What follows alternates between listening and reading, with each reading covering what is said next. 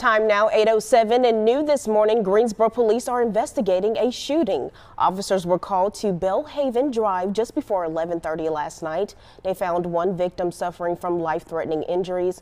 No word on any suspects have been released at this time. Anyone with information on this shooting is asked to contact the Greensboro police.